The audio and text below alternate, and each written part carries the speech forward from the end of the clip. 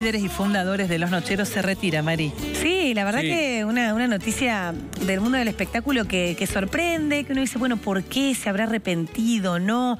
¿Cómo se está preparando en este momento Quique Teruel que tras 40 años de carrera decide de alguna manera bajarse, ¿no? De esta... eh, de este trajín, de ser uno de los nocheros, de estar arriba de los escenarios, de estar en todos los festivales. Bueno, se lo vamos a preguntar a él porque está en su casa de Salta. Quique, no sé si ya cenaste o no, pero bueno, te saludamos desde Córdoba, un gusto charlar con vos y contanos eso, ¿no? ¿Cómo, cómo te preparás para este 30 de junio, para esa gran despedida? ¿Cómo estás? ¿Cómo están? Muy bien. No, primero no cené porque no. Acá sigo siendo nochero, acá se cena muy tarde, nos acostamos muy tarde. El hábito, el hábito me quedó, por más que me vaya, el hábito nochero me quedó. Este, estamos muy bien, yo estoy muy bien. O sea, a ver, con respecto a lo que vos decías, ¿por qué el, yo es como que me vaya, que te separes de una pareja que te llevas bien?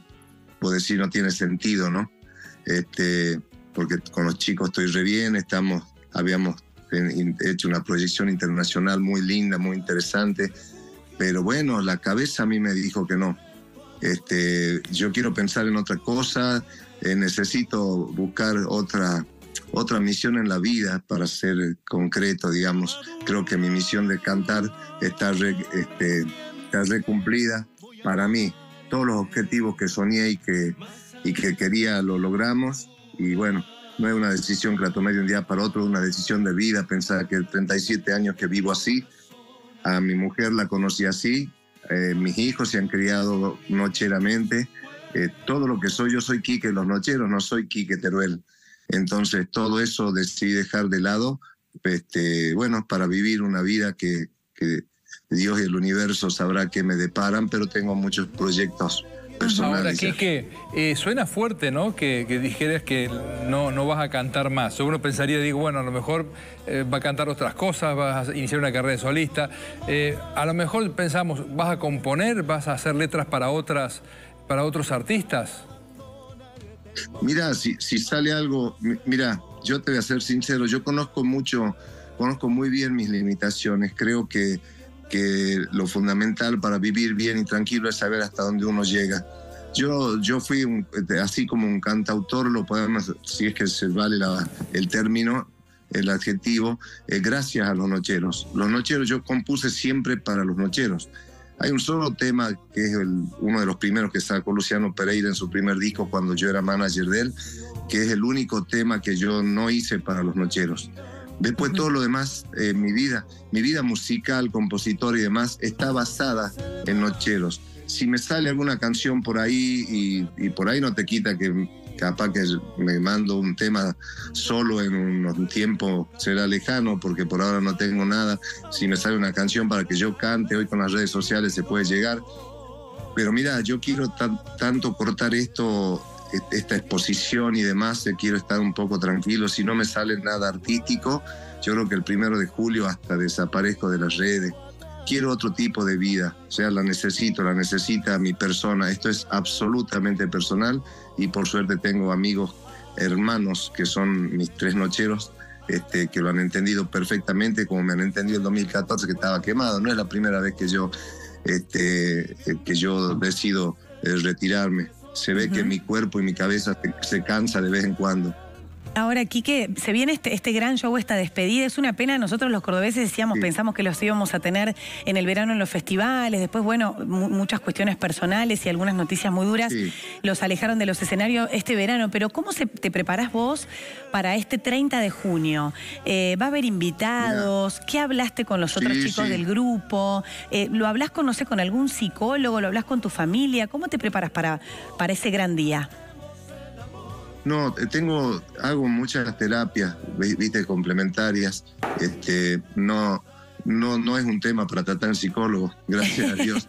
Este, los temas para psicólogo eh, ya pasaron. Eh, yo tuvimos un verano durísimo eh, con la muerte del amor. Vos pensás Sí. que yo anuncio Cosquín, yo anuncio tres días antes de Cosquín que el retiro. Como había quedado con los chicos, es todo, esto está todo consensuado entre los cuatro y a las dos horas Mario me avisa de que mi cuñada había entrado en coma y después falleció. Cuando armamos para el 22 de abril la despedida, porque era ya hace dos semanas, eh, se muere mi papá. Entonces veníamos con una racha espantosa Entonces ahí decidí pasar para el 30 de junio y nosotros íbamos a ir como despidiéndome yo en el verano, ¿viste? Esa era la idea, porque teníamos 35 shows nosotros de enero a marzo. Sí. Entonces, este, bueno, me quedó esta despedida. ¿Sabes que no hago más en ningún lado por respeto a los chicos? Los chicos siguen, los chicos siguen los tres y, y ellos están trabajando ya para abrir la agenda para julio, agosto, cuando ellos decidan arrancar. Y si yo me paso despidiéndome en varios lugares, no está bueno. Además que van 11 invitados. Te imaginas que no le voy a decir a los 11, che, vayan a Córdoba, a Rosario, a Mar del Plata, de todos los lugares que, que han, que han requerido una despedida. Tengo un Dream Team espectacular que son todas amigas y amigos cantores, son los top de la Argentina, que van a estar ese día acompañándome. Todos me dijeron que sí. Este, así Qué que hay grupos, hay, hay cantantes, hay amigas y amigos, como te digo, con todo lo que me han visto o no han visto los nocheros en algún dueto, en algún escenario, en algún asado, están ese día. Por eso digo, para mí es un solo día, es decir, chao, varios chao, no me vas, vos te vas y te vas. Mario, te quiero preguntar eh, por esto que contás, ¿no? Tan crudamente, de que la cabeza dice basta, el cuerpo dice basta.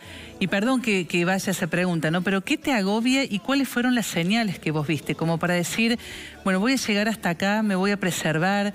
Debe haber sido un proceso difícil, ¿no? Pero ¿qué te dio la alerta? Sí. No, no, eh, te aclaro que eh, voy a ser muy claro, no me agobia nada. Yo estoy, no me agobio nada para dejar el grupo, ni sentí nada que diga, uy, esto lo tengo que dejar porque se venía. No, no. Al contrario, los nocheros siempre ha sido un, eh, es una salida. Yo siempre dije que cantar te evitas muchas horas de terapia cantando el escenario.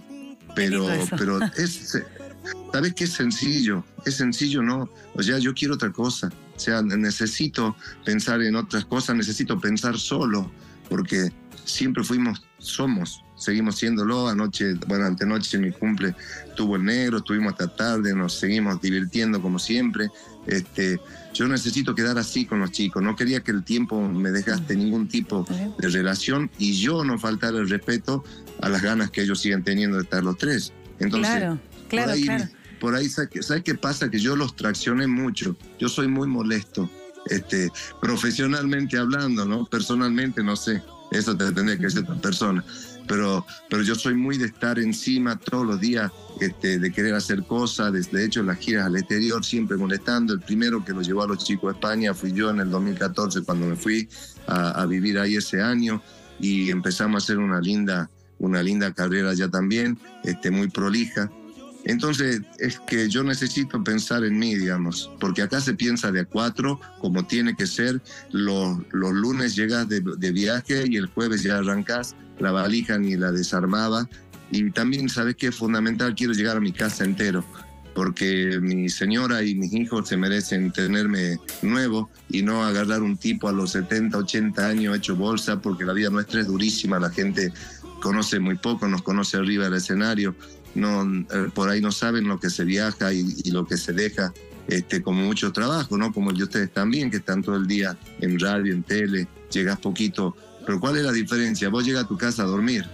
Nosotros no dormimos años en nuestras Claro, casas. claro. Yo quiero llegar, quiero llegar entero, quiero llegar nuevo, con, con seguir teniendo las ambiciones y objetivos que tenía con Nochero, que los cumplía todos, seguir teniéndola en otra cosa mía, digamos, para mí y que mi familia me disfrute bien el tiempo que me, que me quede de vida, ¿no? Qué bueno, qué bueno, Quique. La verdad que es súper sabia esa, esa, postura, ¿no? Porque me parece que a los artistas, una de las cosas que, o a las personas que, que, que tienen mucha exposición, una, de las cosas que más les cuesta es retirarse a tiempo, ¿no? Poder Claro, bajarse de esos aplausos, de ese escenario, de esa Yo cámara. Así que la verdad eso. que está, que está muy bueno. Y sabés que quería preguntarte, em, vos que tenés casi 40 años de carrera, ¿cómo ves el folclore hoy? ¿Cómo ves los festivales? Eh, ¿Qué cosas han cambiado? ¿Qué cosas quedaron? ¿Cuál es el desafío para el futuro para el folclore argentino? Bueno, espero que no me saquen de contexto, porque cada vez que hablo para Córdoba me hacen bolsa. La última vez dije que no me vacunaba y me han hecho bolsa en todo el país. Este, eh, yo quiero ser claro, claro. Eh, que esta es opinión mía, no de los nocheros. Eh, yo veo que está complicado el panorama. Festivales folclóricos van quedando pocos. ¿Por qué digo pocos? Porque se ha mezclado música, música urbana, rap, trap, eh, con, con el cuarteto, que, que, que bien lo hacen todos se han mezclado con, en los festivales folclóricos. Entonces, festivales folclóricos, para mí, quedan pocos. Eh, que sean así, este, de, pura cepa, ¿viste? Como se dice. Sí, sí. El folclore creo que, yo creo que necesita, y ahora lo voy a decir ya como un ex nochero, porque si lo digo como nochero queda muy soberbio, yo creo que el folclore necesita unos nocheros. ¿Qué digo esto? Cuando nosotros aparecimos hace treinta y pico de años, eh, no había nadie como nosotros. Lo digo esto desde, desde el absoluto convencimiento de que, como le dije a Mateico, que es el primero que nos descubrió, me dijo, ¿por qué le cree que me va a gustar los nocheros? Le digo, porque somos únicos. No te digo ni mejores ni peores. Le digo, pero nadie canta como nosotros. Pero hemos mostrado, hemos salido con una escena, con un, con un movimiento escénico, con, hemos podido fusionar el, el folclore con el pop, que muy bien lo logró Mario, que es el, el hacedor, el inventor nochero. Entonces, este, eso había pegado. Ahora me parece, me resulta difícil fusionar el folclore con, con, la música urbana, con el rap, con el trap, que es lo que ya ganó, son nuevos códigos, hay una nueva forma de comunicación para los chicos, para que vuelvan a los festivales. Entonces el festival se está haciendo de gente de los clásicos como nosotros. Nosotros somos los chalchaleros del siglo, del siglo XXI. ¿Entendés? Sí, está buena, está buena esa reflexión. Bueno, Kike, te mandamos un abrazo grande. Falta una vuelta. Sí, sí, decime, decime. No, que te, mandamos un abrazo muy grande acá desde Telenoche y, gracias por, por atendernos. Y bueno, te deseamos lo mejor en esa noche del 30 de junio ahí en el Movistar Arena, que sin duda va a ser una fiesta. ¿eh? Beso muy un grande. Va a ser una fiesta hermosa. Les agradezco a todos. Chao, buenas noches.